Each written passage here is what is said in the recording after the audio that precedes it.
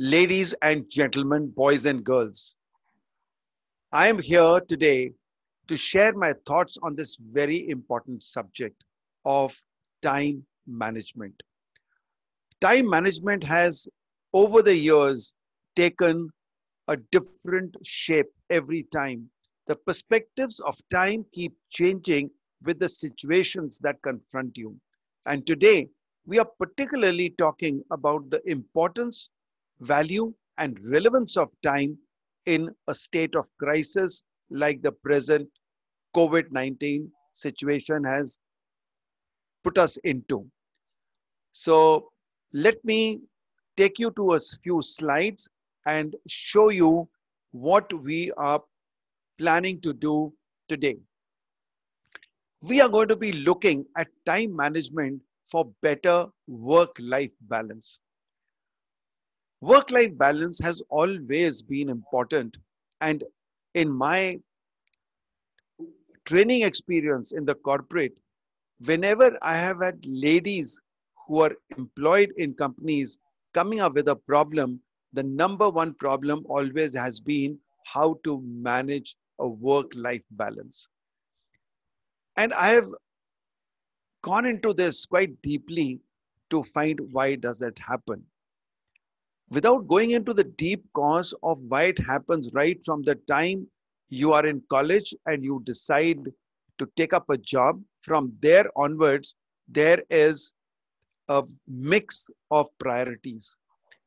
And normally, particularly in girls, although this is a common problem with both genders, but with women, there's a particular problem, and that is that they normally get married late these days. And by the time you are 27, 28, you get married. By the time you have a baby, it's about 29, 30. And that's exactly the time you are reaching your senior managerial positions. What happens here is that the boss's expectations from you rise at the same time when your family expects you to give time to your child. And that particularly creates a problem. Now, when it is in a state of crisis, like the present crisis, the challenges become even more grave, even more serious. So let's go through some of these and see what can we do about it. Have you ever been able to manage time is my question. Because today we are talking of time management. Management of time could be true if you could slow it someday, hasten it another day, work 23 hours today, so I can work 25 hours tomorrow, then you would be probably managing time. But really speaking, we don't manage time. I say time management is dead. Why do I say that? When David Allen in early 40s first coined this term called time management, the entire thing was based on efficiency. Everything was done as to how you can be efficient, save time by doing things efficiently, and use that time for other work in today's environment, if you do that, you're also multiplying your stress levels because the more you work, you save time, you're working like a machine, and then you put that extra saved time into more work is going to be really stressful. I will be talking about what do we do about it. Now, let's come to another area of concern today. And I have given it a name, crisispreneurship of time. And what does it mean?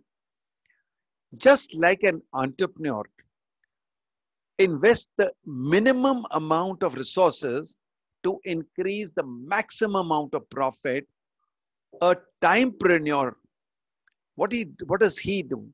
He brings the least amount of time to get the maximum results leading to maximum profitability. When it happens in crisis, we call it crisis crisispreneurship of time. And why I'm going to be talking about crisis is because in normal time we are used to it. It is something like in the army i would say peace and war. So if i would relate to peace as your normal times that you have been used to your work got you got adjusted to your pattern of work. But when this crisis comes it changes the pattern it changes the pattern and therefore what we are looking at is how can we be trained so well in peace that we can take on those unexpected situations in war.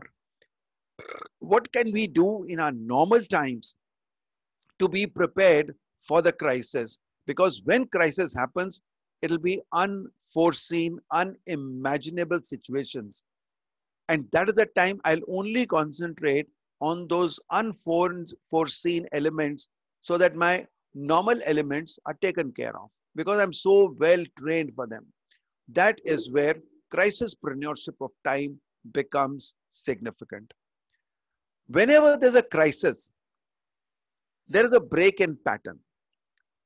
The normal pattern, the normal routine, the normal design gets disrupted. Just imagine the wave. A wave in the sea goes up and down, up and down. There's a design, there's a pattern, isn't it? And when there's a high tide, it goes up higher. When there's a low tide, it goes up lower. But the pattern remains the same. But when a tsunami comes, when a storm comes, the pattern is broken. And then it is for you whether you're going to surf the time wave or are you going to be suppressed by the time wave. Are you driving the seat of uh, driving the car of your life or are you being driven by circumstances.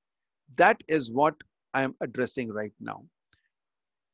Whenever there's a crisis, big or small, whether it is losing your keys and getting locked out of your house, whether it's missing a flight, or whether it's COVID 19, all crises come with five elements. The first element is they come suddenly, they spring a surprise on you. You didn't expect them is very rarely that a crisis was known. For example, the hurricane that came in Mumbai, yeah, we got we got about 24 to 48 hours warning. Yeah, that is there. Then you're prepared for it. But when things happen suddenly, they give you a surprise. The second element is that any any crisis, first reaction is a loss of hope or a reduction of hope, if not loss. And then it brings about an uncertainty in the environment. You're not sure what to do. And it because of that uncertainty, it also causes a certain amount of stress. And last, not the least, but the most important is all these crises demand a quick action uh, they all are very, very demanding on a quick action. And that is where I'm going to be focusing on. How do you handle a crisis? Let me take you to through a little story here. In February this year, I was in Dubai for a training program. And I saw some people wearing masks. There were little murmurs of coronavirus coming in. And I also hear, I remember some, uh, you know, discussions with friends over the TV when people said, oh, we are safe. Luckily, we are safe because in India it won't come. Because of our climatic conditions, because of our uh, immunity system, we are safe. But somewhere in the month of March, we found that we are also facing the same situation. Now, when we woke up in the month of March, somewhere in the middle, you were seeing some corporates already taking actions even when the lockdown was not announced. Some companies had already asked people to start working from home. When I, in my business of training and speaking, saw this coming, I knew one thing, and it was, I think, the 12th of March when I got together with my team and said, let's look, our, look at our goals differently. Because there were two very, very important and good training programs, including the one that I did in Dubai that given me a follow-up program, which was very lucrative from my uh, business growth point of view. They were all three were cancelled. There were two important speaking gigs that I had got, which also got cancelled. And then being a member of the Professional Speakers Association of India and also of the Asian Professional Speakers Singapore, I started seeing in my WhatsApp and other places people talking about worldwide speaking gigs getting cancelled. So I realized that going and speaking on the stage or training in a classroom is affected. And the only answer was to go online. I did my first webinar on 22nd of March, the day of the lockdown. And by now, I have done 76 webinars during the lockdown. While many trainers are struggling to survive and they are living on their savings, first one month, complete month of April and half of May, I did free webinars because I was in a mood to give. The world demanded that. It was, it was a requirement. You felt like helping. But then I started getting into business gradually.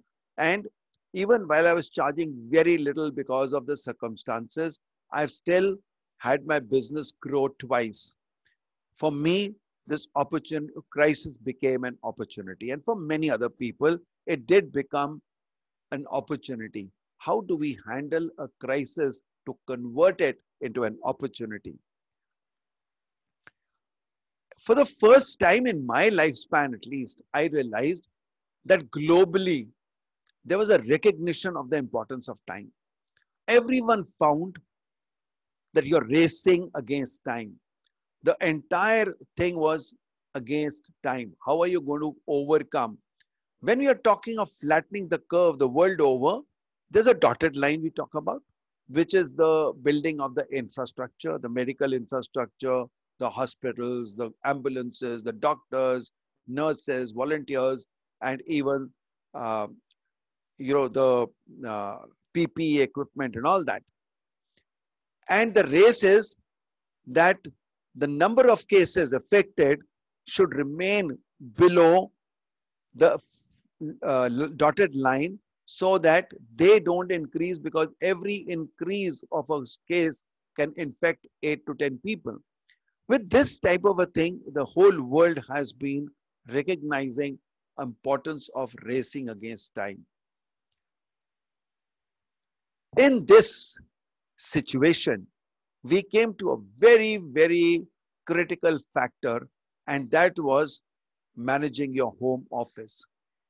First time in the world, a home office appeared very, very differently. Anyone who had worked from home earlier, the thing was different. It was different. It was different because you had you were working from home but others were in their office. When I was working from home, let's say, my wife was away at her work, children were in school, etc. But this is the first time in the world that everyone was at home. Earlier, if you, one person was working from home, he was dealing with a team of people where 20, 30 people are sitting in one room, one office. But here, if you are dealing with your team, in a corporate organization, you were dealing with 20 different offices with 20 different infrastructures. Some people not having network connections, people not having laptops, people not having furniture. Your space being limited. The same space because the entire family is there. Could be the grandparents, the children, and the couple six, seven people, four people staying in the same house. And if they are working, they need the same space for their office work. There was a complex uh, problem that you had to face, which you had never faced before. What I'm talking today is not as significant as it was when I first did my home office presentation on 22nd of March. That time, people had their eyes open to say, oh, this is what we need to do. But by now, as I speak today, I think most of us have got settled to the idea of working from homes and we have all devised our systems. The question is, how long will it last? While nobody knows the answer, the writing on the wall is very clear. The concept of home office is here to stay. Even when things normalize, the home office will continue to stay. Why? COVID 19 has given us some very good lessons, and we have realized that if people who can work from home and work efficiently from home, you can cut down office space so your real estate gets saved, your commuting gets pay, uh, saved, the traffic on roads will get reduced, and many other consequences. So, therefore, there are companies who have already announced two years of home office working. Okay. So, this is the way the working culture is going to change. It's never going to be the same again. You're going to be talking about before Corona, BC, we were doing this. And this is what you're going to do in AD, which is after distancing. Now, when you are looking at your home office, this is a critical factor that I'm talking about that you have 24 hours and you have to divide your time between your family, your friends, your work, your hobbies, your self development, and maybe many more. These are some examples. How do I manage all this in the same workspace of my home office? That is the question that we addressed in March when we just got into a lockdown. I know, as I said, now we are pretty sorted. We have found our answers. Have you felt when you got into this home office situation that you are juggling too many balls? The pressure from your children, from your parents, from your uh, friends. You don't even talk. You stop talking to me. And there was a myth. Please tell me if that myth was with all of us or not the day the lockdown was announced, we said, "Oh my God, we have so much of time. What I what will I do?" And I think within a very short period of time, everyone realized that we have lesser time in the lockdown than we had earlier. Isn't that a fact of life? We all found ourselves engrossed in webinars, in our, uh, you know, the way things happened, there was never, never free time available. But yes, those who knew their priorities could invest their time. And I always say, invest your time, never spend your time. You must use the correct words because the words have a lot of significance in the way our subconscious mind treats them. When you say, I'll spend time, your subconscious mind relates it to an expense. An expense is something that goes away it diminishes into zero. But when you say invest, you're looking for a return. And the return may not be in terms of money. The return is in terms of happiness, satisfaction, sense of achievement, and so on. So we found that you are juggling with many, many priorities. And this is one way that you can get over it.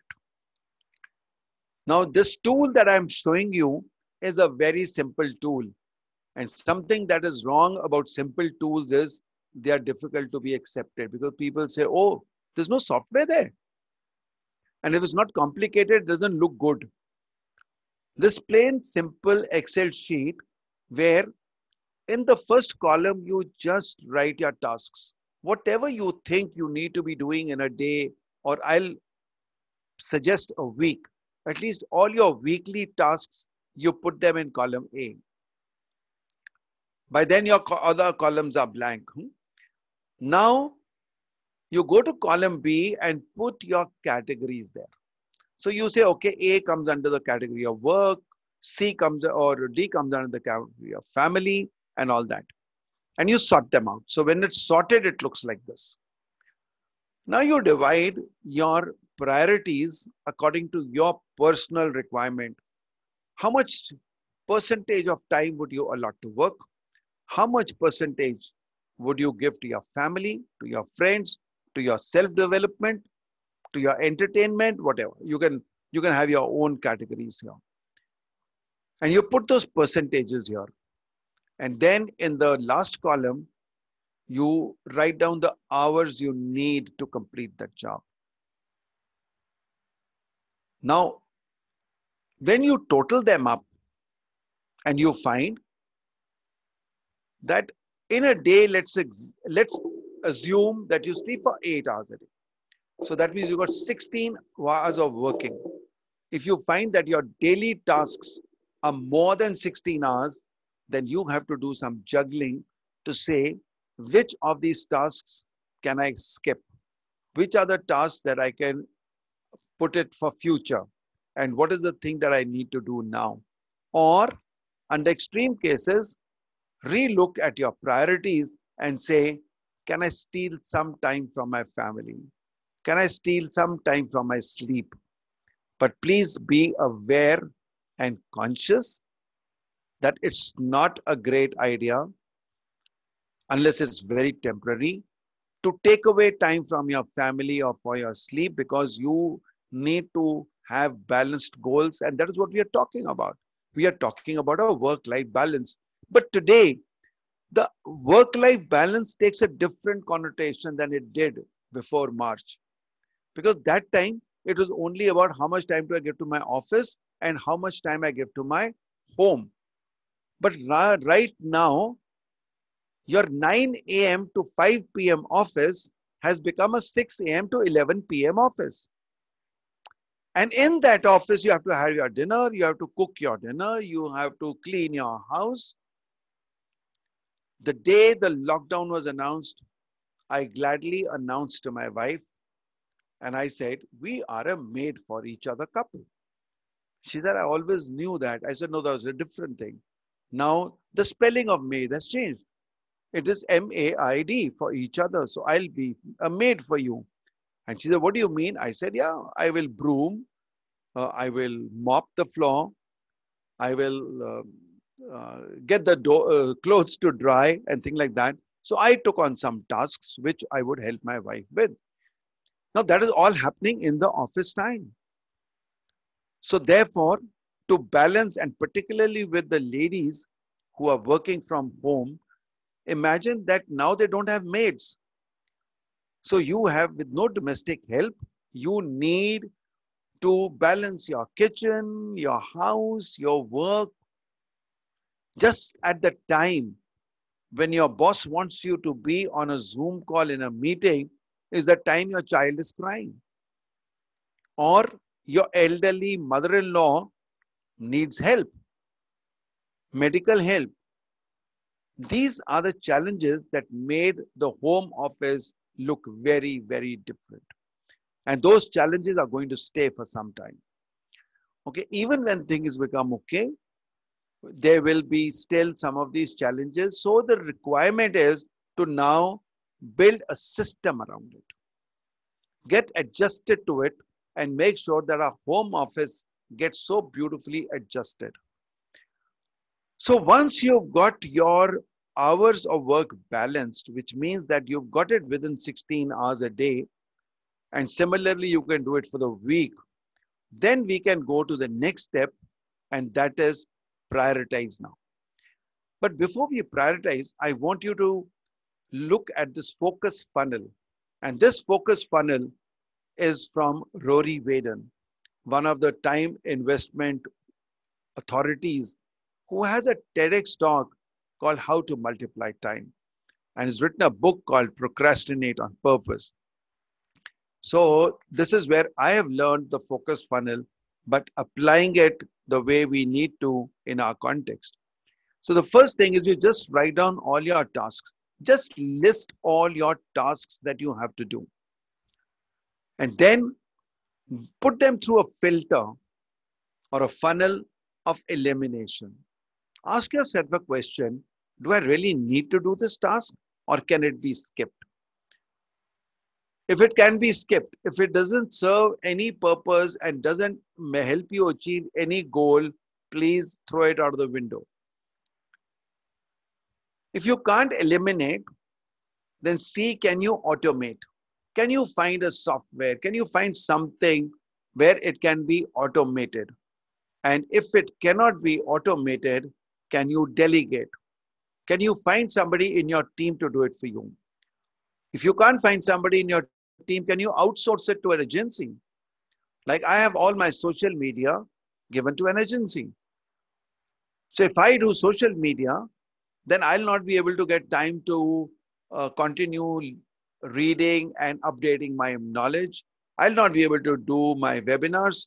So I will really, really get uh, mixed in my priorities. What I can't eliminate or automate or delegate has to finally be done by me. So I have to do it. And then the question is, when do I need to do it? Do I do it now or do I do it later? If I have to do it now, then concentrate and get onto the work. And if I don't have to do it right now, then I put it in the category of procrastinate on purpose. And this is a place where I always, in a live class, get a question here Sir, isn't procrastinate bad? We always say, don't ever procrastinate. And you're here saying procrastinate on purpose. When you procrastinate because you don't feel like doing it, or you are scared of that item, somewhere you put it off, put it under, under the carpet, bad. But when you procrastinate on purpose, which means you're deliberately putting it off, that this item or this task is important, but it can wait till next week. There's nothing great to do it right now. So that is called procrastinate on purpose. And if you put it off for a week or two weeks, after that, you have to put it back into the funnel. Because by then, examine it again. Do I still need to do it? By now, the significance could have gone. For example, if I was to do the training of a pharma company, which involved a lot of study because it was a different situation which I was being told to handle, I had to go and do a lot of study. It was at least a two weeks preparation for that program. But COVID 19 made that eliminate, that I don't have to do that program, at least not for the time being. So, eliminate. It doesn't remain on my task list anymore.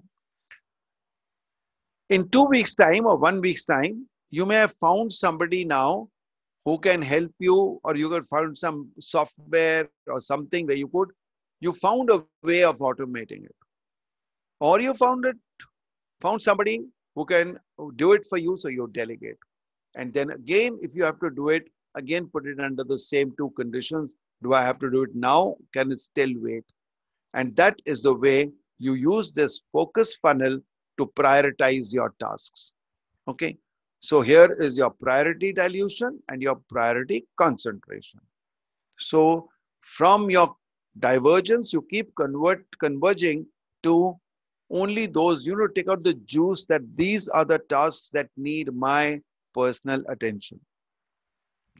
Once you have done your prioritization, then get to another Excel sheet. And now this is something which you must listen to carefully.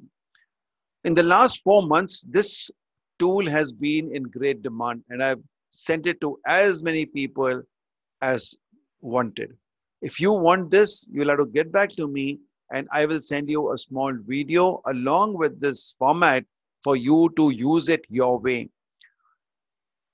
Simple thing on an Excel sheet, what I've done is I have made time slots. So in column A and B from 6.30 to 7, 7 to 7.30, it could be half an hour slots, it could be 15 minute slots, it could be one hour slots, entirely as per your convenience.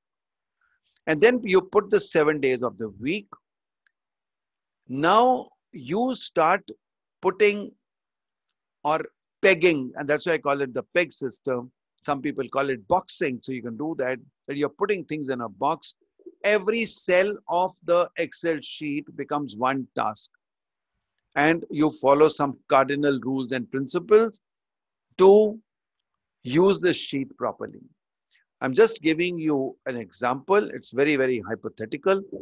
So you give a color code and say, okay, these are my health areas. So, okay, this is my time fixed. One hour for yoga, one hour for a walk. So you block it up and say that this is not the time I can assign to any other activity. Blue color, I have, for example, given to my self-development. So I block some time for my self-study. Then you have your normal times of meal timings. I put my breakfast and lunch time there. And dinner time has not been included because that is within the family time. Right? Similarly, you first block up your routine things and see how much of area are you left for work.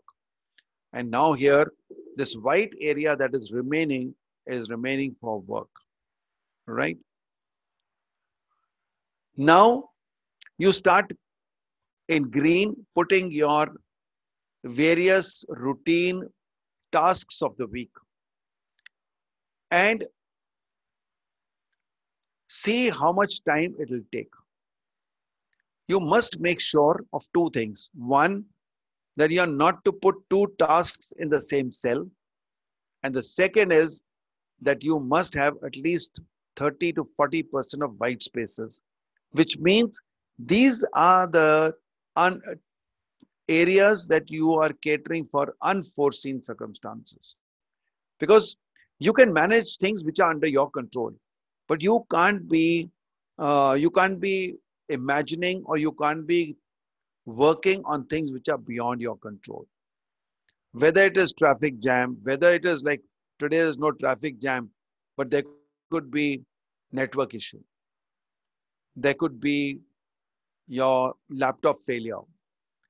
There could be a sickness. Anything that is not within your reach. So you have catered for things to or spill over. You thought you will do it, but you're not able to do it. And ladies and gentlemen, there's one thing which is very, very important. And I want you to understand that right from David Allen's days, they never catered for anything like feelings, emotions, and significance. They only catered for absolutely robotic stuff that how can you do things quickly as a machines. Productivity is basically a machine work, input to output. And that was given to time management. How are you more productive? The whole concept was mechanical. But today, you know that emotions and feelings and significance of a thing is also to be borne in mind. So I have kept my three hours to cover to work on this proposal ABC, but that is the time I'm having a headache. That's the time something has gone wrong and my mood is off. Will I be able to make that proposal? And if not, do I have the liberty of taking out this and putting it somewhere else and putting up an easier thing here, which I can handle at that time. So my emotions and my, my state of mind also becomes important. So that was a tool that I explained to you. You can try it out and it has been working very well for people. I'm sure it'll work for you as well.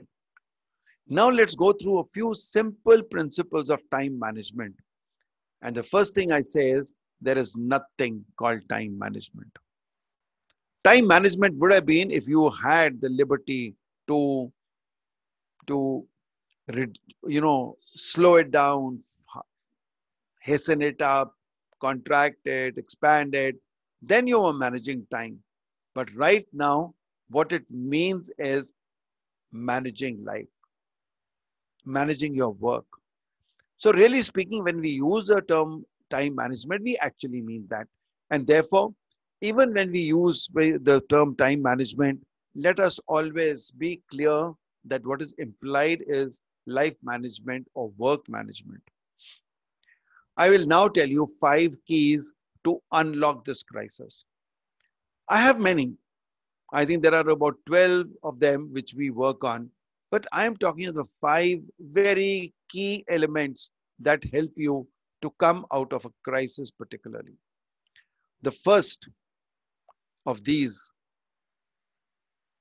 is hourly worth. I am very particular and I strongly believe that everything starts here. This is your thought factory.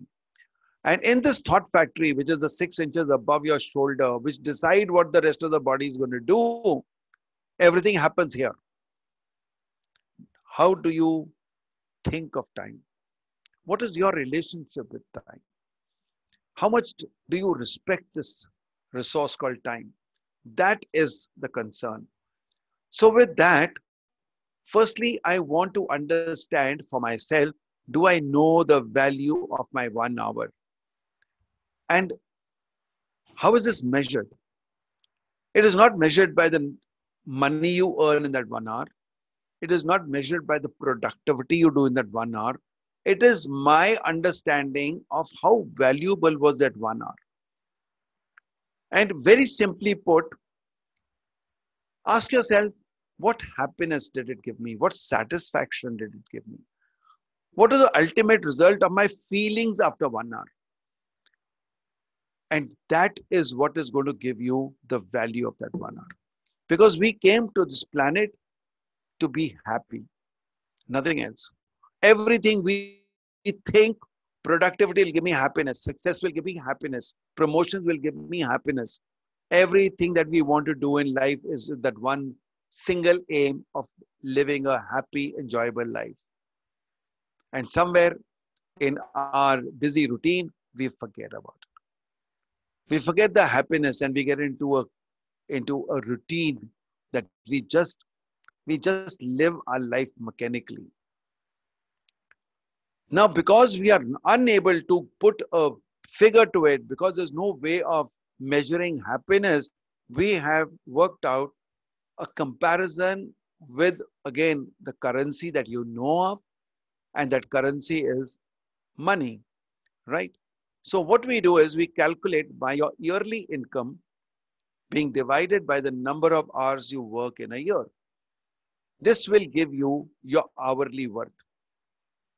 And if you want to increase your hourly worth, which everyone, if you want to progress, you want to grow, you want to increase your hourly worth, then there are three ways of doing it.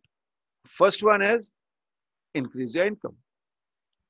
The second one is decrease the number of hours you work in a day. And the third one is do both simultaneously. While increasing your income, see how you can do it in lesser time. And that will give you your hourly worth.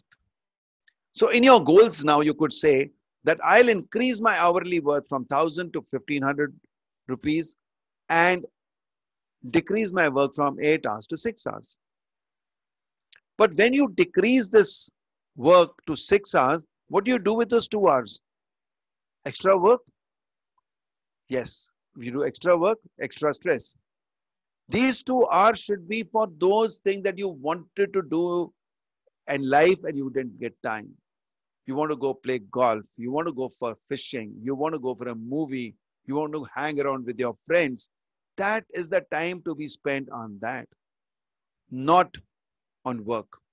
Because you're going to put yourself in a vicious circle if you're going to use that saved time for more work.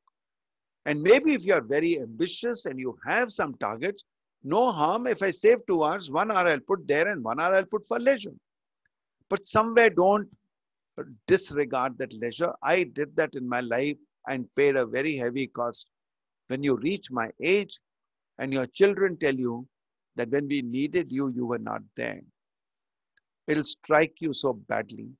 So, guys, learn from others' mistakes. Don't ever make the mistake of ignoring your family. Don't ignore yourself.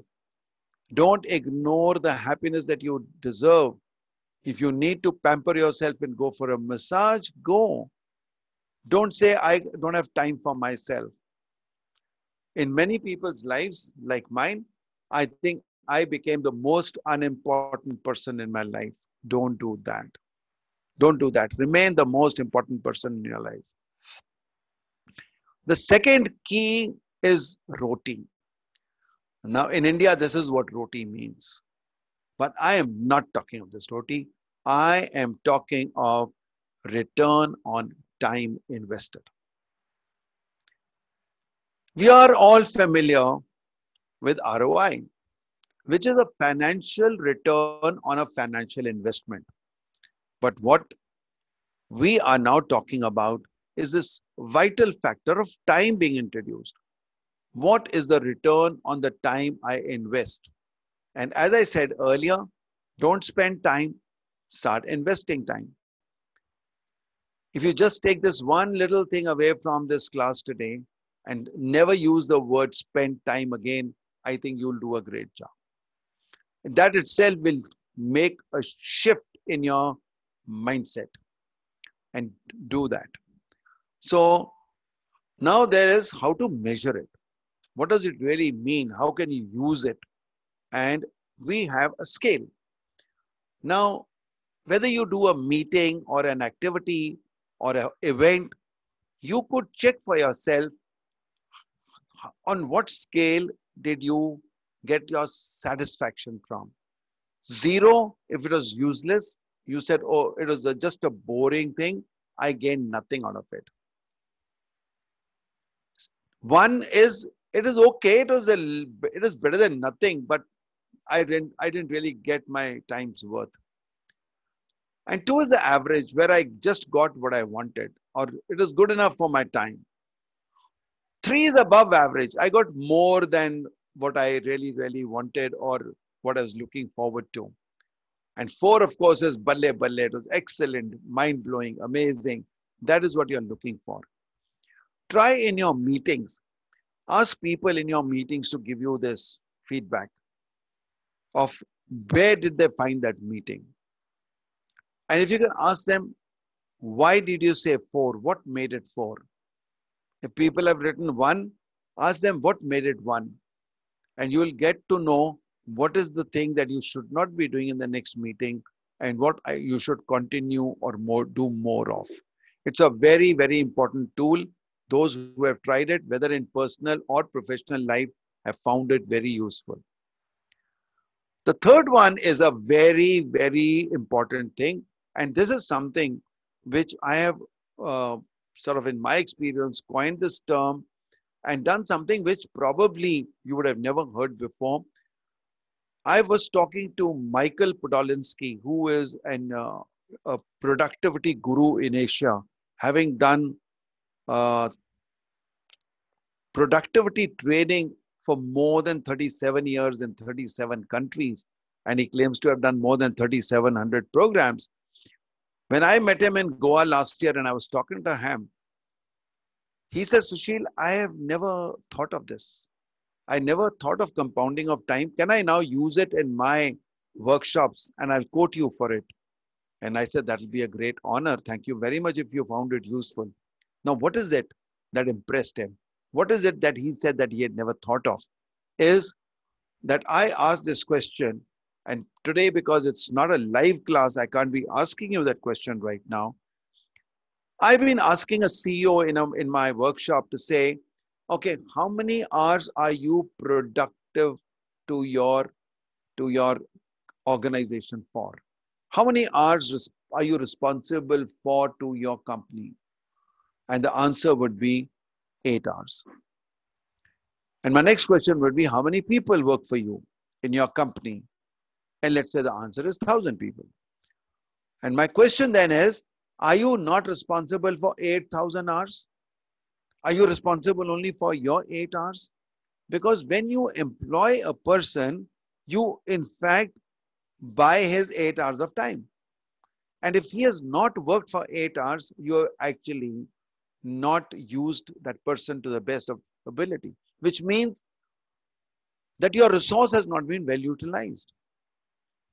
Now, let's say that I take this CEO and say, I will train you I will make you more productive. I'll teach you some of these tools, make you conscious about time. And I will also do that for your first level of reportees, whether they are function heads or business heads. And let's say I just do these two levels, could be 10, 12 people in a company normally.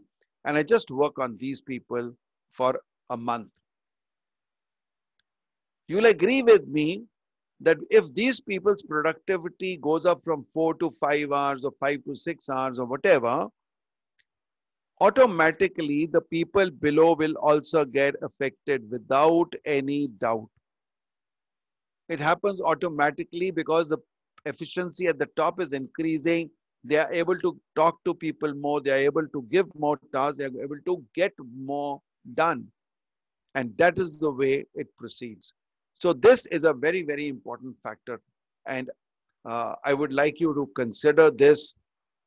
I work for companies now and make them increase their turnover without a single penny of extra expense on any infrastructure, any manpower. Only expense they have to incur, and that's not an expense, that's an investment, is on my training fee. That's all. Rest they get as a good return, and the return on that investment is very high. Now, what about personal life? Even in my personal life, it is not my time that matters. It is the time of people around me, the time of type of uh, time of people who deal with me. Even that gets important. And how do I impact people's time? And how does it create a compounding effect on other people's lives? Is something we really, really need to consider. Most of us are absolutely oblivious of it. Last year, I went to Bangalore and I was staying in a hotel. I wanted to be close to the place of my work because Bangalore traffic really is uh, hard on you when it comes to commuting. So when I checked into the hotel, I didn't like it. And then I explored the area, possibility of going somewhere else nearer to my place of work. And I found that on the MG road, there's RSI, which is an army uh, club where they have accommodation. I went and checked up. There was a room available. I went back to the hotel, brought my baggage, and asked that gentleman in the office, please give me the keys. He said, no, sir, you have to first do the formalities. I said, please give me the keys. The cab is waiting. I'll just put the baggage in the room and come back, and then I'll do all the formalities. But he was the one who would go by the book, did not agree, and insisted that I do everything before I get the keys. This took me 10 minutes to fill in all the forms, make the payment, and all that. And by then, I got two telephone calls from the cab driver, and he said, Sir, please hurry up. And I said, I'm just coming. I'm just coming. That's what we say. And that just looks like one second, whether it's one second or 10 minutes, it's still just coming. And when I got to the cab, this man was furious. And he said, Sir, I could have done another ride in this time. I said, Yes, I know. I'm sorry for that. Uh, I'll compensate you for it. Yes, I can compensate the person for with money. But then he got a call, and when he took that call, I could hear a lady on the other end yelling. 10 minutes back, I found that the cab was five minutes away, and for 10 minutes, it's still saying five minutes away. Are you static? Aren't you moving? You know, I'm going to miss a flight. I took the phone from the driver and spoke to that lady. I said, Ma'am, I am sorry, this is my fault. I will not go to my room because you're still reversing and still getting to go to the room. I said, I'm coming to give you the cab. I'll not waste even a single extra second of yours.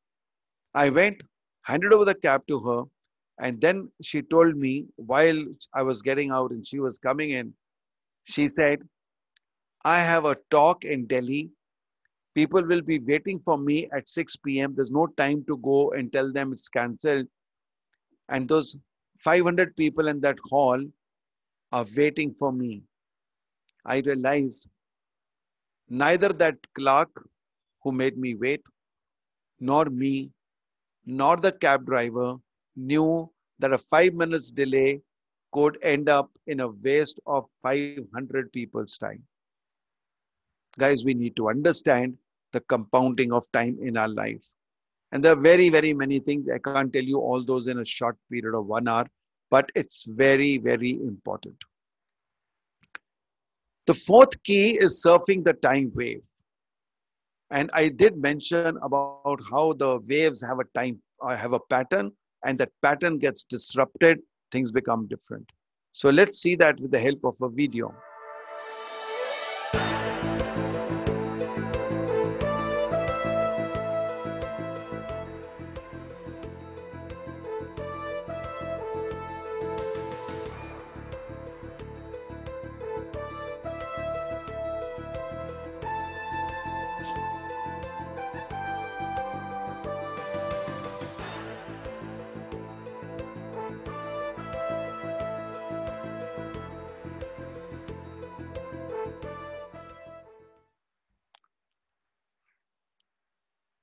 Now,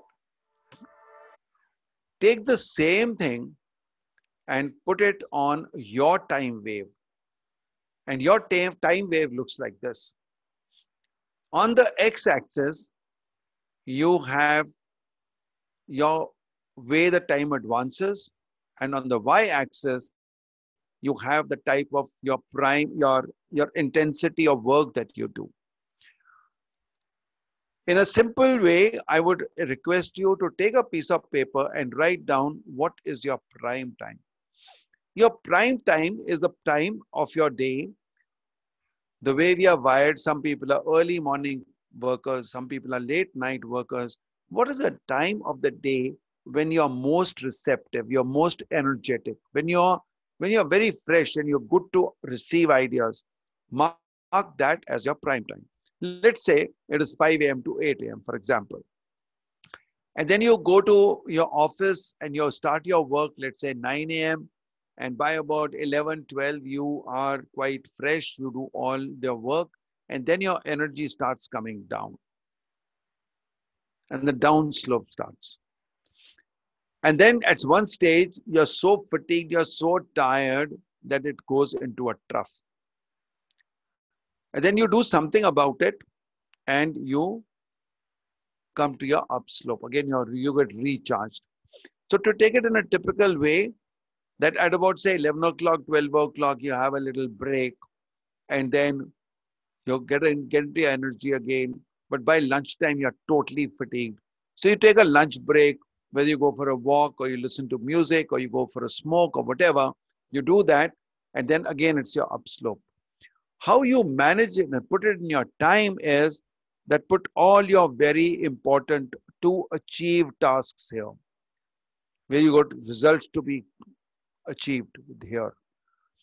Downslope are your, you know, when you're doing your routine jobs, checking your mails, making some phone calls, paying your bills, etc. That is all done in the downslope. And then in the upslope, you do your second important tasks, which are not as important as the prime time, but when your energy levels are a little better, that's the time you do this. So this is the way we work on the time wave. The last one is the entrepreneurship of time. Just one second, my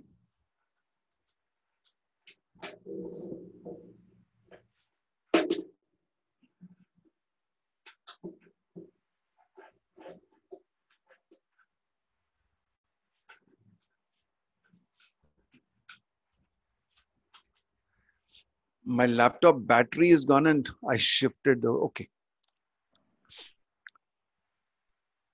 Yeah. Entrepreneurship of time implies like an entrepreneur, what does he do? He invests the least amount of time to get the maximum profit. Similarly, a timepreneur will invest the least amount of time to get the maximum results. How does he do that? He takes care of keeping a log of the time he invests every day in work and measuring it with his output and results.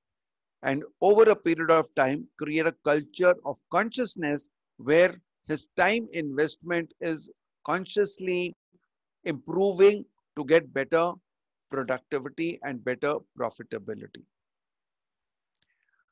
So here I would like you to write down for yourself in a, on a piece of paper, what did you get out of today's masterclass?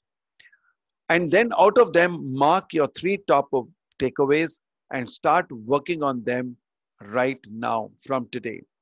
Don't put them off for the next Monday or the first of the month or first of January next year. The best time to start something new, what you learn, is now.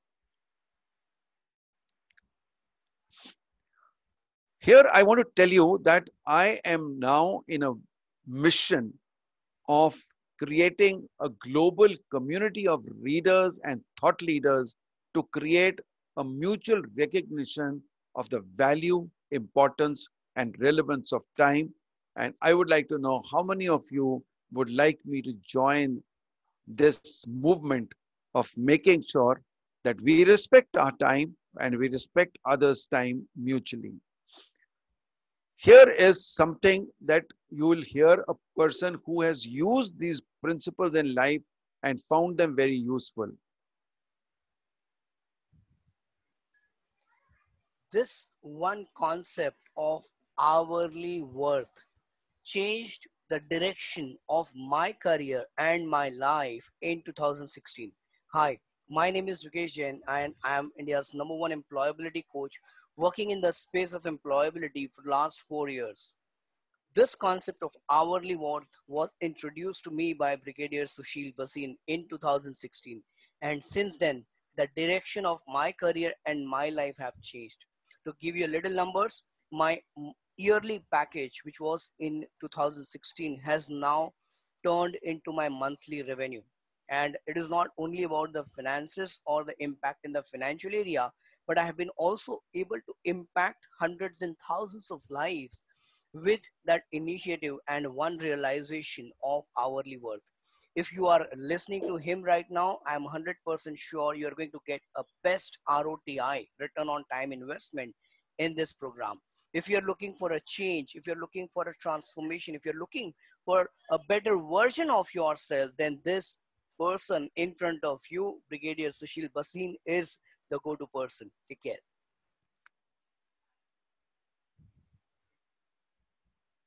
I have written a book called Million Dollar Second, and that has been endorsed by Brian Tracy, who says Sushil has developed a wonderful system of goal setting and time management that will transform your life and double your income.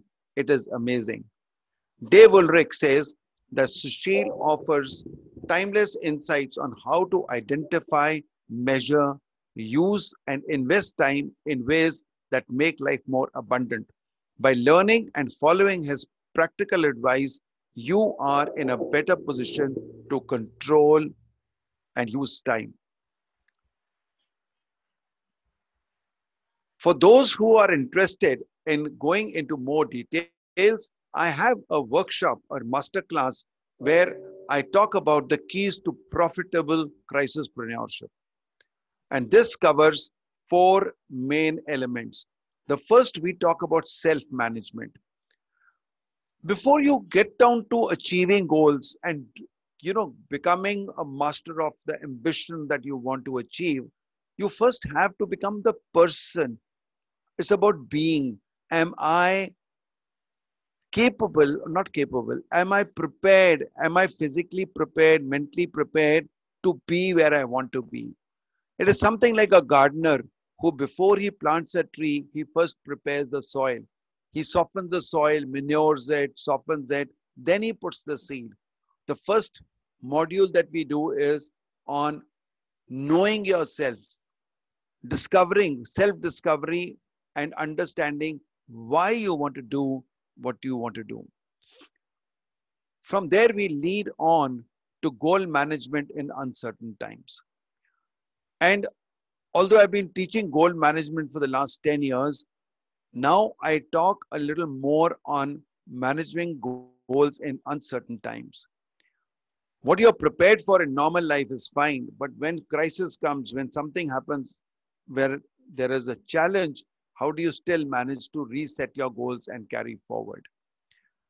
In the third module, we talk about time consciousness, and that is where we consciously bring in a culture of time management in your life. And the last one, of course, is on profitability.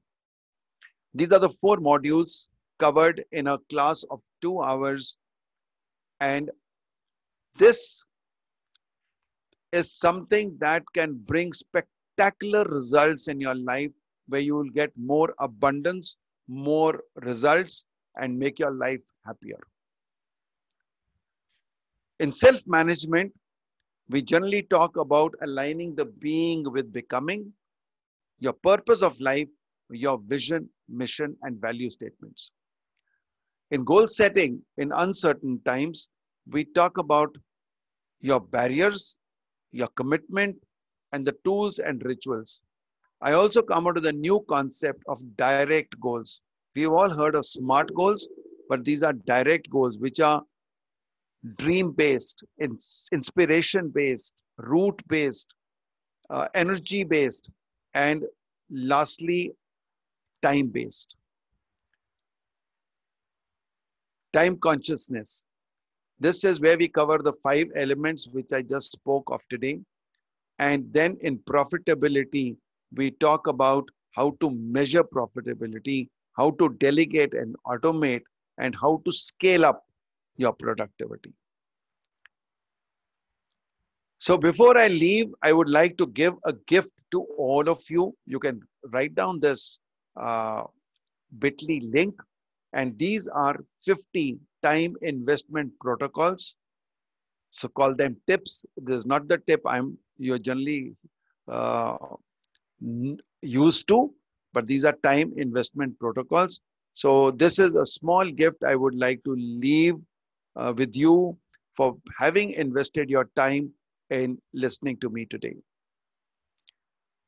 And this is another gift, which is a short form, just in 10 pages, one page per chapter of my book, Million Dollar Second, shown to you in doodles. So it is a visual representation of my book, Million Dollar Seconds. I have now finished and I would like you all to become a part of my time conscious society. Thank you very much. If there are any questions, I'd like to take them on.